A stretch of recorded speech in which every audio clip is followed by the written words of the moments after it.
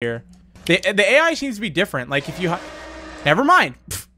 you know what I just said about the AI? Yeah, just completely ignore everything I just said about it. I was going to say it seems different and a little bit better, but no. He just saw me through a table. Oh my gosh. And he's faster than me just by a little bit, I think. Oh my gosh. Run. Yep. I'm a goner.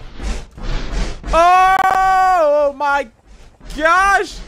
Keep running, keep running, keep running. Oh my gosh, keep running. I gotta keep staring at him because it creeps me. Oh no! What? What?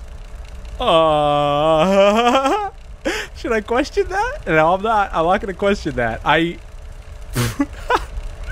I thought that was game over. I literally thought that was game over. He just randomly turned around.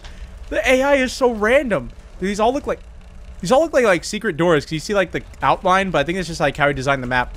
But oh my, I don't know why he turned around. I was that was literally game over. Like maybe he felt bad. He was like, you know what, bro, you locked yourself out of the office. I'll give you this one. Now here's the problem.